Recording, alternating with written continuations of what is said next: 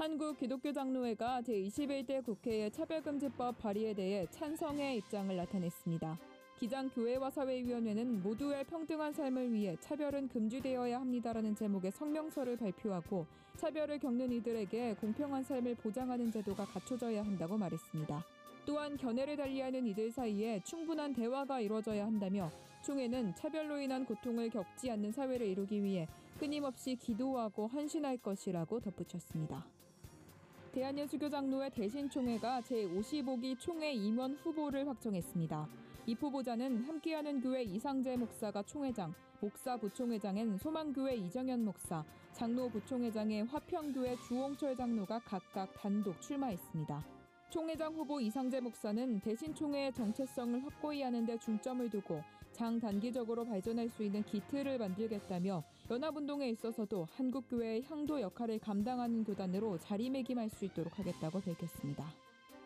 대한예수교 장로회 통합총회와 한동대학교가 선교 지원을 위한 상호교류 협력 협정서를 체결했습니다.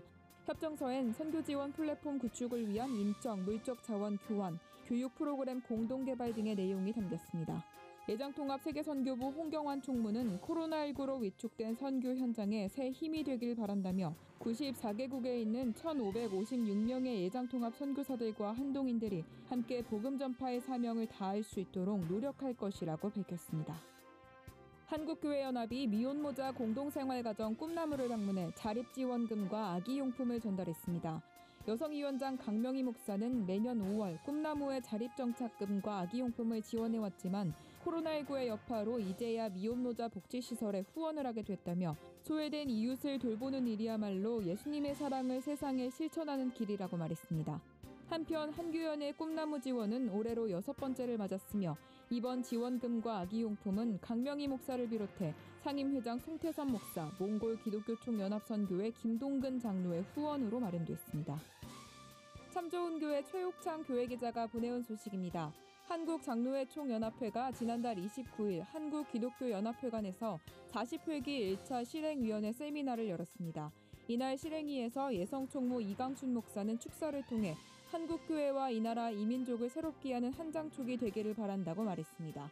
이어 예비역 육군대장을 역임한 권호성 장로가 강사로 나서 6.25 전쟁 발발 70주년에 반출하는 제목으로 특강을 진행했습니다.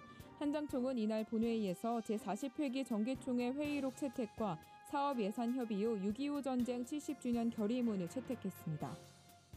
연세의료원이 미국 장로교와 미국 연합감리회에 KF94 마스크를 각각 1만 장씩 전달했습니다. 연세의료원은 우리나라에서 사역하다 미국으로 돌아간 선교사와 가족에게 코로나19 극복을 위한 사랑의 마스크를 전달하기 위해 이날 행사를 마련했다고 밝혔습니다. 연세의료원 윤도훈 원장은 우리나라에 위생 개념조차 없던 시절 선교사들이 우리 병원을 세워 의술을 베풀었다면서 마스크로 그 사랑에 다 보답할 순 없지만 우리가 여전히 선교사님들의 사랑을 기억하고 있다는 메시지를 전하기 위해 마스크를 준비했다고 말했습니다. 파이디온 선교회가 코로나19로 모임이 어려워지는 한국교회를 위해 대안적 교회 성경학교 방법을 제시했습니다. 파이디온 선교회는 온라인 강습회를 통해 찬양 강의, 공과 강의 영상 등을 제공하고 시간과 장소에 관계없이 영상을 시청할 수 있도록 했습니다. 교회에서 모일 수 없는 이들에겐 가정 성경학교를 제안하고 예배 진행을 돕는 안내지와 사전 자료를 준비했습니다. 2020 파이디온 어린이 청소년 온라인 강습회는 파이디온 홈페이지를 통해 확인할 수 있습니다. GOODTV 뉴스 하나은입니다.